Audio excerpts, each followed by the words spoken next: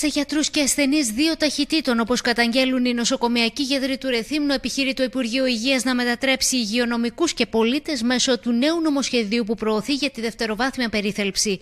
Όπως τονίστηκε σε εκδήλωση που έγινε στο Εργατικό Κέντρο Ρεθύμνου, το νέο εγχείρημα του Υπουργείου Υγείας θεωρείται βέβαιο πως θα οδηγήσει πλέον σε υποβάθμιση και ιδιωτικοποίηση του Εθνικού Συστήματος Υγείας με ολέθριες συνέπειες. Δεν θα επιτρέψουμε τη διάλυση της δημόσιας υγείας αλλά και τον αφανισμό του, νοσοκομ... του αυτοαπασχολούμενου γιατρού απαιτούμε να αποσυρθεί τώρα. Είναι πολύ σημαντικό να καταλάβει ο κόσμος ότι είμαστε μια χώρα που έχει τις μεγαλύτερες, ε, το μεγαλύτερο ποσοστό δαπανών, ιδιωτικών δαπανών στην υγεία.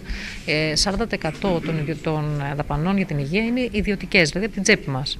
Έτσι, αν σκεφτείτε το μέσο όρο της Ευρώπης είναι 20-25% σε χώρες οι, οι οποίες δεν έχουν παραδοσιακά ας πούμε, συστήματα υγείας όπως έχουμε εμείς στο ΕΣΥ. Άρα λοιπόν δημιουργείται ένα νομοσχέδιο να μας πάει ακόμα πιο πίσω. Με βάση τους νοσοκομιακούς γιατρούς του Ρεθύμνου, οι σημαντικότερες διατάξεις του νομοσχεδίου αφορούν στην κατάργηση της πλήρους και αποκλειστικής απασχόλησης των γιατρών ΕΣΥ, με ό,τι αυτό συνεπάγεται και για τις αποδοχές τους, οι οποίες για να αυξηθούν θα πρέπει να εισέλθουν στον ιδιωτικό τομέα. Η κεντρική φιλοσοφία της κυβέρνησης είναι το κράτος να πληρώνει λιγότερα και ο ασθενής περισσότερα. Για τον ε, νοσοκομιακό γιατρό επιπλέον θα σημάνει ε, και την αναγκαστική είσοδό του στον ε, ιδιωτικό χώρο παρά το ότι περισσότεροι από εμάς, η συντηρητική μας πλειοψηφία, κάναμε την επιλογή να μην έχουμε οικονομική συναλλαγή με τον ασθενή.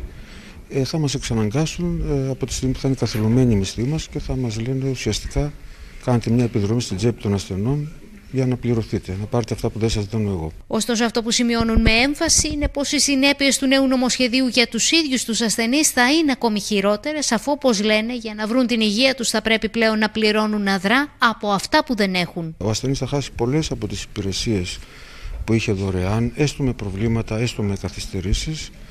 Ε, εκείνος που δεν έχει χρήματα θα είναι αποκλεισμένος από, τόσο από τα εξωτερικά ιατρία όσο και από τα χειρουργεία ε, και θα αναγκαστεί να βάλει το χέρι στην τσέπη, διαφορετικά δεν θα μπορέσει να βρει την υγεία του. Καταργεί ε, την ε, ιδέα ότι όλοι έχουμε τα ίδια δικαιώματα και μας πηγαίνει ε, στην εποχή που ο καθένας ε, έπρεπε να πουλήσει ένα χωραφάκι για να γίνει καλά, έπρεπε να έχει κάποιο γνωστό για να μπορέσει να θεραπευτεί και σταδιακά γυρνάμε εκεί.